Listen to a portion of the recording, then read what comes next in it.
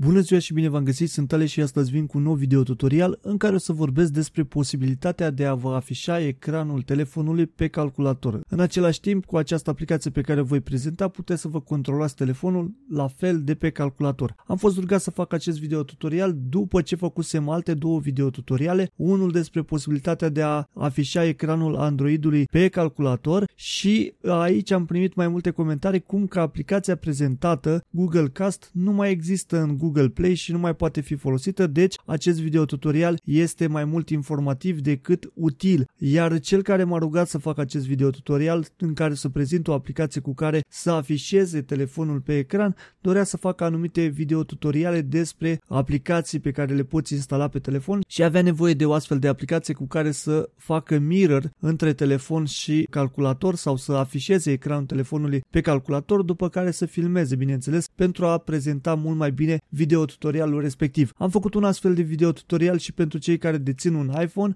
Există aplicația Reflector, aplicația care nu este gratuită, însă o puteți găsi pe diferite torente dacă vreți să o folosiți. Cu această aplicație puteți să afișați la fel ecranul telefonului dumneavoastră iPhone pe ecranul calculatorului în diferite scopuri. Vom vorbi despre o aplicație care vă ajută în mod foarte rapid să afișați ecranul telefonului dumneavoastră din diferite motive, poate că doriți să faceți acest lucru, fie doriți să explicați unor prieteni problemele pe care le aveți la telefon, fie doriți să le arătați aplicațiile pe care le aveți instalate și cum acestea funcționează, fie doriți ca în cazul celui care m-a rugat să fac un astfel de video tutorial, să faceți video tutoriale explicative despre smartphone-uri în care să prezentați diferite aplicații, setări și așa mai departe. Haideți să vedem despre ce este vorba. Veți găsi în descriere două linkuri care vă vor duce către această aplicație numită Mirror Go Android Recorder. Cu această aplicație pe care voi prezenta pe lângă faptul că puteți să afișați ecranul telefonului pe calculator, puteți să controlați telefonul de pe calculator, de asemenea puteți să faceți și înregistrarea ecranului uh, telefonului. În felul acesta este mult mai simplu să explicați anumite lucruri. Pentru a descărca aplicația nu nu trebuie să apăsați pe acest buton Try Free, ci trebuie să mergeți în josul paginii, deci foarte mare atenție, și veți găsi aici butonul de descărcare. Download Mirror Go.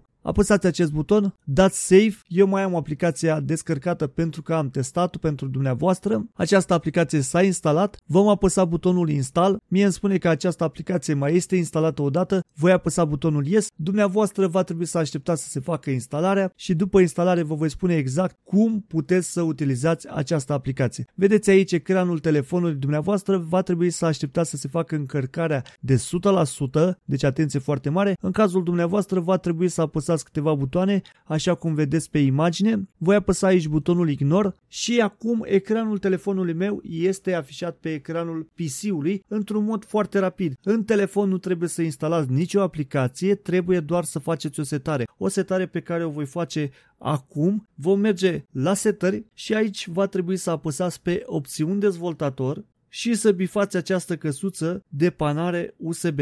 Da? Trebuie această căsuță să fie bifată pentru ca ecranul telefonului dumneavoastră să poată fi afișat pe ecranul PC-ului.